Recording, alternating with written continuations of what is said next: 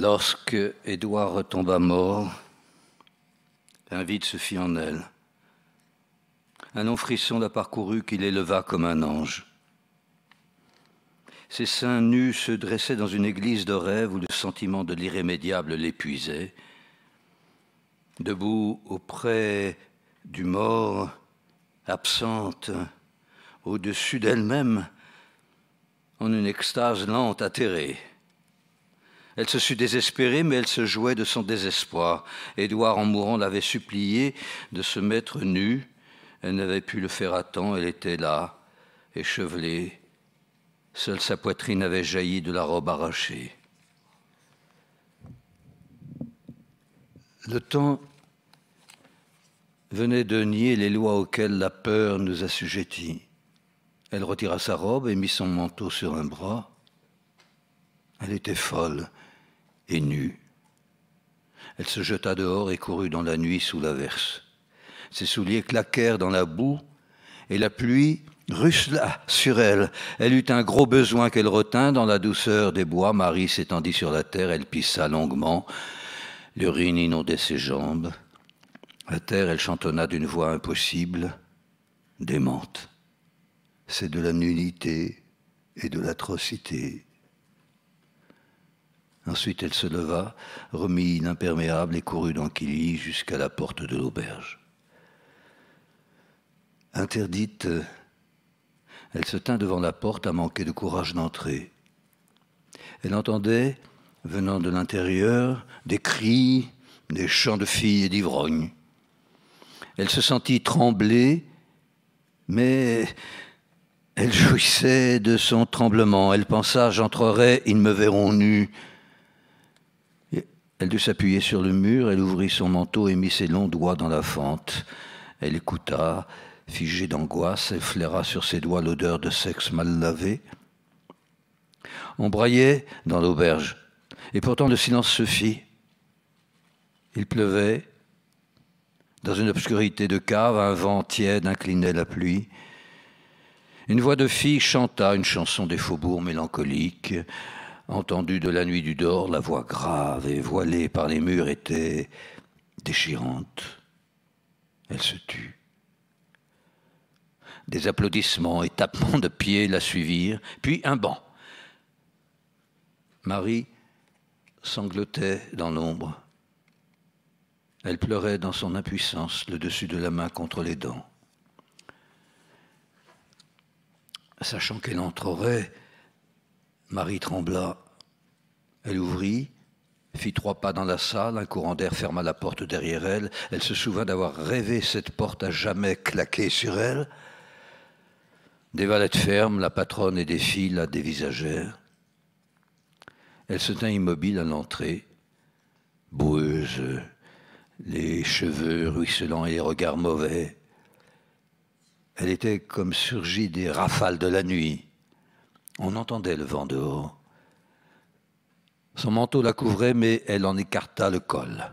Elle demanda d'une voix basse On peut boire? La patronne répondit du comptoir Un calva Elle servit un petit verre au comptoir. Marie n'en voulut pas. Je veux une bouteille de grands verres, dit-elle. Sa voix toujours basse était ferme. Elle ajouta Je boirai avec eux. Elle paya. Un garçon de ferme aux bottes terreuses dit timidement Vous êtes venu rigoler C'est ça, dit Marie. Elle tenta de sourire. Le sourire la sia. Elle prit place à côté du garçon, colla sa jambe à la sienne et lui prenant la main, la mit entre ses cuisses. Quand le valet toucha la fente, il gémit. Nom de Dieu Congestionné, les autres se taisaient. Une des filles se levant écarta un pan du manteau. Vise-la, dit-elle, elle est à poil. Marie se laissa faire et vida vite un verre d'alcool. Elle aime le lait, dit la patronne. Marie eut un renvoi amer. Marie dit tristement C'est fait.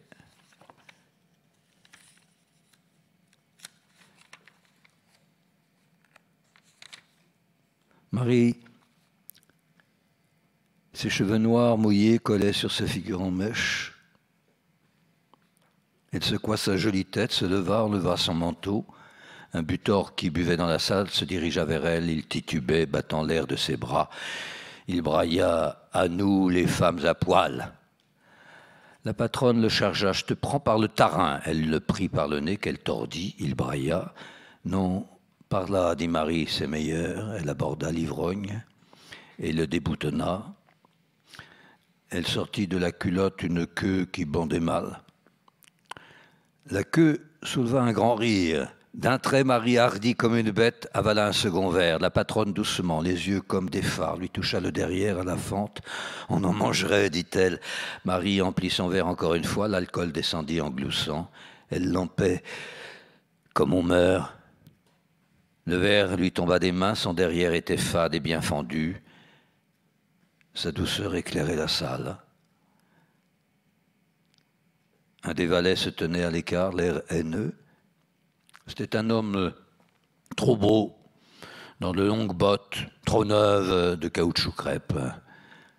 Marie vint à lui, la bouteille à la main. Elle était grande et congestionnée. Ses jambes vacillaient dans des bas qui flottaient. Le valet prit la bouteille, élampa. Elle cria d'une voix forte, inadmissible. Assez Calant la bouteille vide d'un coup sur la table. Marie lui demanda Tu en veux un autre?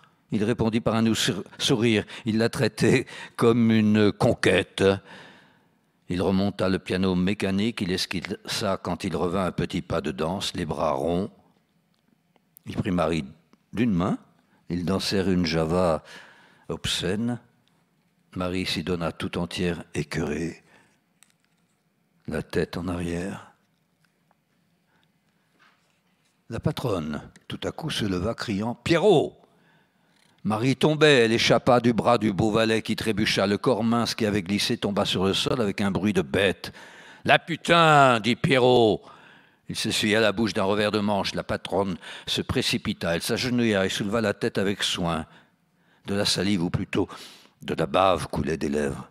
Une fille apporta une serviette mouillée. Marie revint à elle en peu de temps. Elle demanda faiblement de l'alcool. Donne un verre, dit la patronne à l'une des filles. On lui donna un verre. Elle but et dit Encore. La fille emplit le verre, Marie le lui enleva des mains. Elle but comme si le temps lui manquait. Reposant dans les bras d'une fille et de la patronne, elle leva la tête. Encore, dit-elle. Les valets les filles et la patronne entouraient Marie, attendaient ce qu'elle allait dire. Marie ne murmura qu'un mot. L'aube, dit-elle, puis sa tête retomba lourdement. Malade, malade. La patronne demanda qu'a-t-elle dit Personne ne sut répondre. Alors, la patronne dit au beau Pierrot, suce-la. On la met sur une chaise, dit une fille. Ils saisirent le corps à plusieurs et calèrent le cul sur la chaise. Pierrot, s'agenouillant, lui fit passer les jambes sur ses épaules. Le beau gosse eut un sourire de conquête et darda sa langue dans les poils. Malade, illuminée, Marie semblait heureuse. Elle sourit sans ouvrir les yeux. Elle se sentit illuminée, glacée, mais vidant sans compter vit dans sa vie, dans l'égout.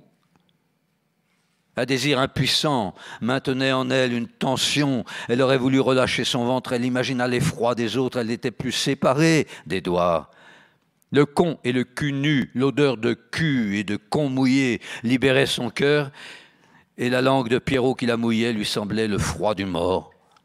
Ivre d'alcool et de larmes et ne pleurant pas. Elle aspirait ce froid, la bouche ouverte. Elle attira la tête de la patronne, ouvrant à la carie l'abîme voluptueux de ses lèvres. Marie repoussa la patronne et elle vit décoiffer cette tête exorbitée de joie. Le visage de la virago rayonnait de douceur saoule. Elle était saoule aussi, saoule à chanter. Il lui vint aux yeux des larmes dévotes. Regardant ses larmes et ne voyant rien, Marie vivait baignée dans la lumière du mort. Elle dit J'ai soif. Pierrot suçait à perdre haleine. La patronne empressée lui donna une bouteille. Marie but à longs traits et la vida. Une bousculade, un cri de terreur, un fracas de bouteilles cassées, les cuisses de Marie eurent un battement de grenouille, les garçons qui criaient se bousculèrent, la patronne assista Marie, l'étendit sur la banquette, s'endit sur la banquette, ses yeux demeuraient vides, extasiés. Le vent, les rafales au dehors faisaient rage, dans la nuit les battants claquaient. Écoutez, dit la patronne. On entendit un hurlement de vent dans les arbres, long et gémi, comme un appel de folle. La porte à ce moment fut grande ouverte, une bourrasque entra dans la salle. À l'instant, Marie, nue, se trouva debout. Elle cria Édouard Et l'angoisse vit de sa voix le prolongement de celle du vent. De cette nuit mauvaise, un homme sortit, Fermant un parapluie péniblement, sa silhouette de rat se découpa dans l'embrasure de la porte. Vite, monsieur le comte, entrez, dit la patronne. Elle tituba. Le nain s'avança sans répondre. Vous êtes trempé poursuivit la, patronne en fermant la porte. Le petit homme avait une gravité surprenante, large et bossu, la grosse tête à hauteur des épaules. Il salua Marie, puis se tourna vers les valets. Bonjour Pierrot, dit-il en se serrant la main. Enlève-moi mon manteau si tu veux. Pierrot aida le comte à défaire son manteau. Le comte lui pinça la jambe. Pierrot sourit. Le comte serra les mains aimablement. Vous permettez? demanda-t-il en s'inclinant. Il prit place à la table de Marie devant elle. Donnez des bouteilles, dit le comte. J'ai bu, dit une fille à pisser sur la chaise. Buvez à chier, mon enfant. Il s'arrêta Nat, se frottant les mains, non sans désenvolture. Marie demeurait sans mouvement, regardant le comte, et la tête lui tournait. Verse, dit-elle. Le comte emplit les verres. Elle dit encore, très sage, Je vais mourir à l'aube. Le regard bleu d'acier du comte la dévisagea. Les sourcils blonds montèrent, accusant les rides du front trop large. Marie leva son verre et dit Bois. Le comte aussi leva son verre et but. Ils avalèrent ensemble d'un coup. La patronne vint s'asseoir près de Marie. J'ai peur, lui dit Marie. Elle ne quittait pas le comte des yeux. Elle eut une sorte de hoquet. Elle murmura d'une voix de folle à l'oreille de la vieille C'est le fantôme d'Édouard Quel Édouard? demanda la patronne à voix basse. Là, je me suis trompé, c'était à voix basse. Hein. Quel Édouard dit la patronne à voix basse. Il est mort dit Marie. Ah merde. Il est mort, dit Marie de la même voix. Elle prit la main de l'autre et la mordit. Garce cria la femme mordue, mais dégageant sa main, elle caressa Marie, et lui baisant l'épaule, elle dit au comte Elle est douce quand même. Hein. Le comte à son tour demanda Qui est Édouard Tu ne sais plus qui tu es, dit Marie. Sa voix, cette fois, s'était cassée. Fais-le boire, demanda-t-elle à la patronne. Elle paraissait à bout. Le comte siffla son verre, mais il avoua L'alcool a peu d'effet sur moi. Le petit homme large, la tête trop forte, dévisagea Marie d'un œil morne, comme s'il avait eu l'intention de gêner. Il dévisageait toutes choses de la même façon, la tête raide entre les épaules. Il appela Pierrot. Le valet s'approcha. Cette jeune enfant, dit le nain, me fait bander. Tu veux t'asseoir ici? Le valet assis, le comte ajouta gaiement Sois gentil, Pierrot, branle-moi. Je n'ose pas en prier cet enfant. Il sourit. Elle n'a pas comme toi l'habitude des monstres. À ce moment, Marie monta sur la banquette. J'ai peur, dit Marie. Tu ressembles à une borne. Il ne répondit pas. Pierrot lui prit la pine, il était impassible en effet comme une borne. Va-t'en, lui dit Marie, ou je pisse sur toi. Elle monta sur la table et s'accroupit. Vous m'en verrez ravi, répondit le monstre. Son cou n'avait aucune aisance, il parlait, le menton bougeait seul. Marie pissa. Vigoureusement, Pierrot branlait le comte que l'urine frappait au visage. Le comte rougit et l'urine l'inonda. Pierrot brandait comme on baise, et la pine cracha le foutre sur le gilet. Le nain râlait avec de petits soubresauts de la tête aux pieds. Marie pissait toujours. Sur la table, au milieu des bouteilles et des verres, elle s'arrosait d'urine avec les mains. Elle s'inondait les jambes, le cul et la figure. Regarde, dit-elle, je suis belle. Accroupie, le con au niveau de la tête du monstre, elle en fit ouvrir horriblement les lèvres. Marie eut un sourire euh, fielleux, une vision de mauvaise horreur. Un de ses pieds glissa, le con frappa la tête du comte, il perdit l'équilibre et tomba. Tous deux s'abattirent en gueulant dans un effroyable fracas. Il eut au sol une mêlée affreuse. Marie se déchaîna, mordit la queue du nain qui brailla. Pierrot la terrassa, il étala les bras en croix, les autres lui tenaient les jambes. Marie gémit Laisse-moi Puis elle se tut. Elle soufflait à la fin, les yeux clos. Elle ouvrit les yeux. Pierrot, rouge en sueur, était sur elle. Baise-moi, dit-elle. Baise-la, Pierrot, dit la patronne. Ils s'agitèrent autour de la victime. Marie laissa retomber la tête, gênée par ses préparatifs.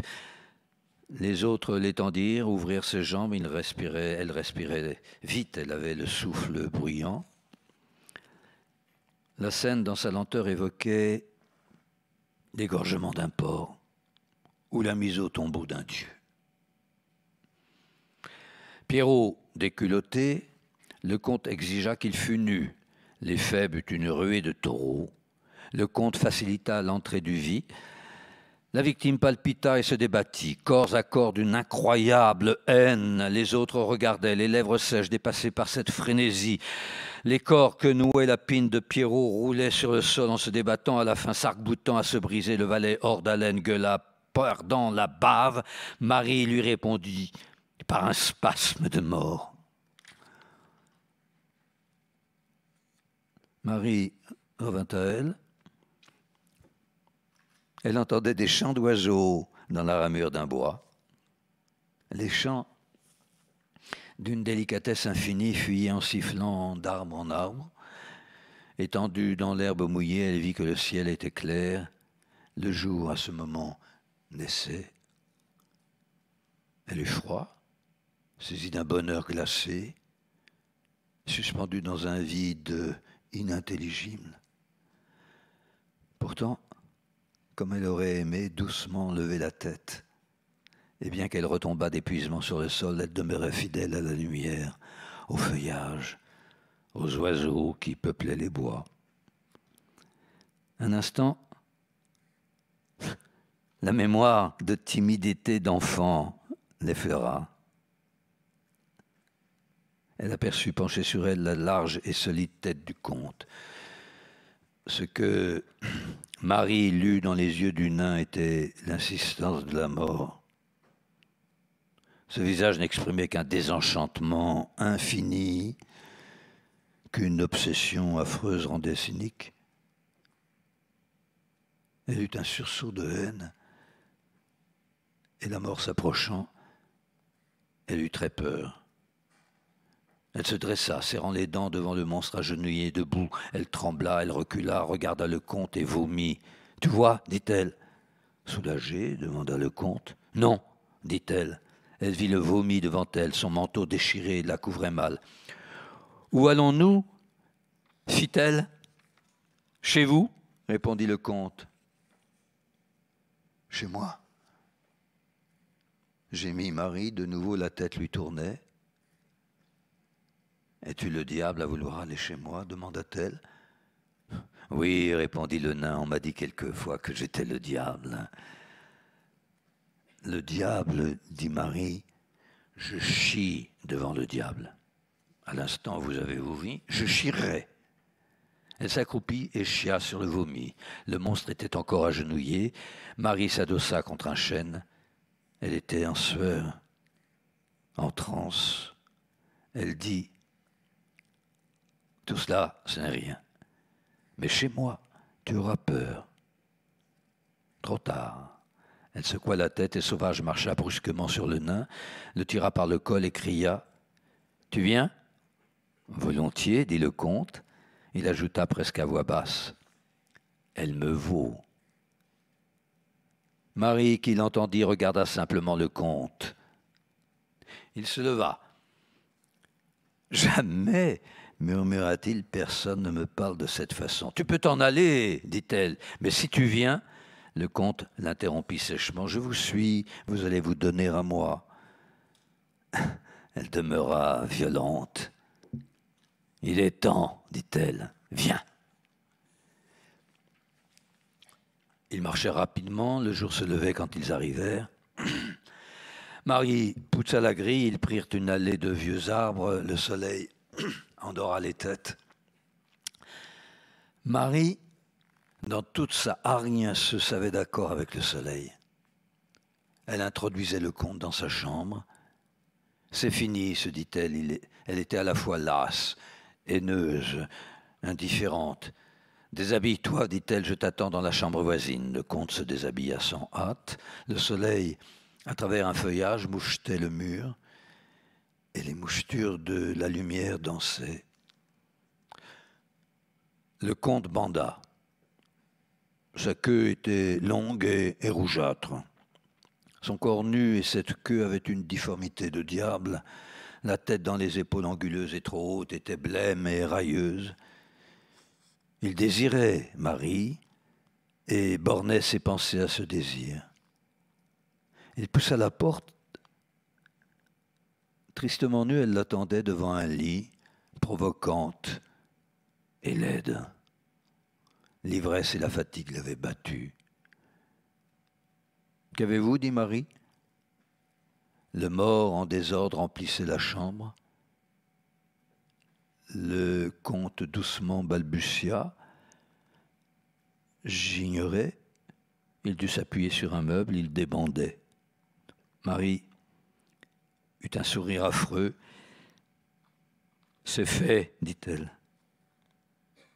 Elle avait l'air stupide, montrant dans sa main droite une ampoule brisée. Enfin, elle tomba.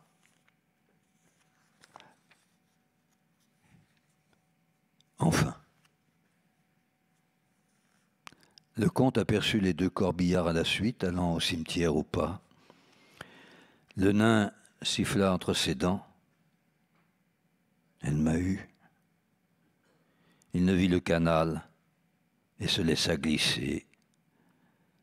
Un bruit lourd, un instant, dérangea le silence de l'eau.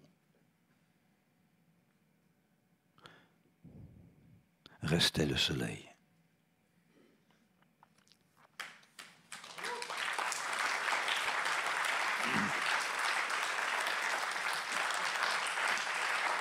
Mm.